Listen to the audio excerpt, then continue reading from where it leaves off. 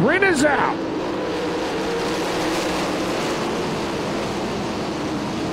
Krimes and Dietrich.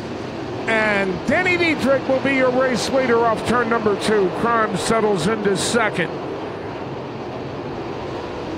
Bollinger in third. Chad Trout fourth. Tim Wagaman in fifth.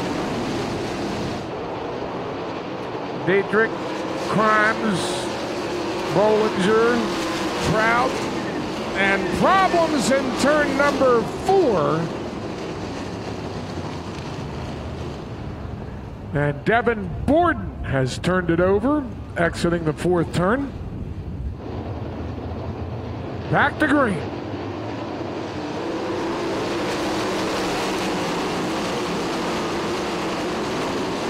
Bollinger looks underneath the 27S. Again, can't make the pass. Krimes hangs on to the runner-up spot.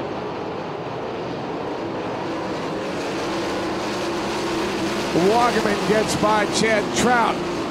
Moves into your top five.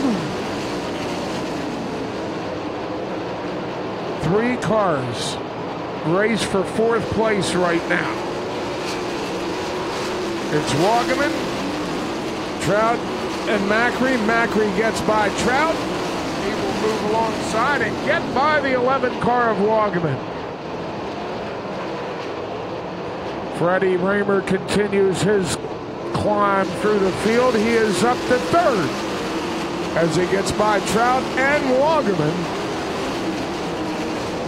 So it's Dietrich Krimes and Rahmer, one, two, and three. Freddie Rahmer has moved into second and is closing on your race leader.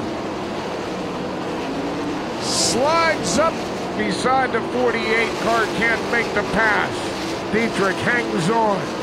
Five laps to go this time. It's down to Dietrich and Rahmer now. Krimes third, Wagaman fourth, followed by Trout. Then Wagaman. Troy Wagaman, that is. Battle for the lead down the front stretch into the turns.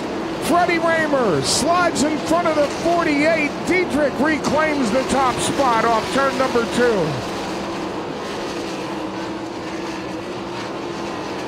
Dietrich and Rahmer with three laps to go. Rahmer slides in front down the backstretch.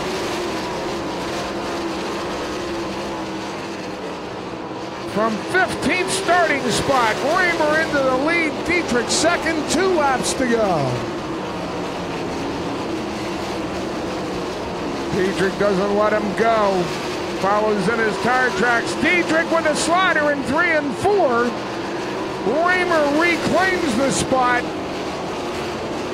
Final time around. Rahmer, your leader down the backstretch final turns coming up. Who's it gonna be? Freddie Rahmer picks up the win here today. Danny Dietrich is second.